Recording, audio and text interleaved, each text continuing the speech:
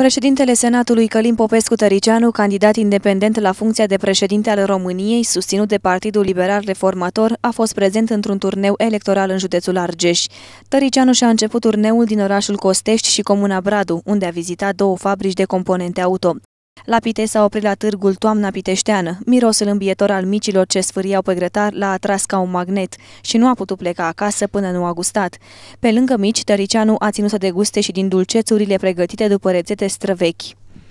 Ăsta e gata Asta? făcut sau nu? E da, făcut sau nu? Bun. Nu e făcut.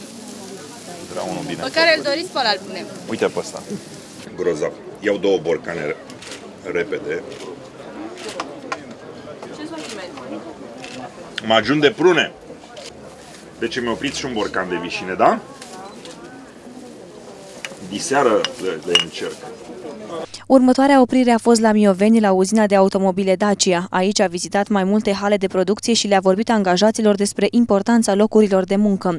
De fapt, subiectul principal a fost legat de construirea autostrăzii Pite-Sibiu, Dacia fiind un pol de dezvoltare important al economiei românești. Sper ca Uh, ultimile declarații și angajamente făcute de guvern, uh, de primul ministru în numele guvernului, referitoare la proiectul construcției autostrăzii Pitești-Sibiu să se materializeze cât mai repede, pentru că știu cât de importantă este pentru a permite industriei în general și uzinei uh, Dacia Renault să aibă acest plămân prin care să respire, pentru că altfel și Dacia Renault și alte industrii vor ajunge să se sufoce uh, din cauza incapacității infrastructurii de a prelua volumele crescânde de transporturi, de produse finite, de componente în fluxul bivalent care se, care, pe care îl necesită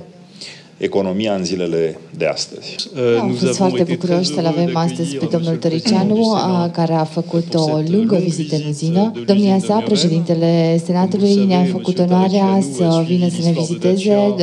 Domnia sa cunoscând foarte bine istoria Dacia, atât înainte de preluarea de către Renault, dar și după ce Dacia a fost privatizată și achiziționată de către Renault. Îi mulțumim încă o dată pentru pasiunea pe care o are, la noi fiind un cunoscător al automobilului lui. De aceea, vizita prin uzină a fost atât de lungă, pentru că am dorit să arătăm evoluțiile pe care uzina le-a suferit. Vizita lui Călim Popescu Tăricianu în Arge s-a încheiat la Câmpul Lung, unde s-a întâlnit cu autoritățile locale și simpatizanți.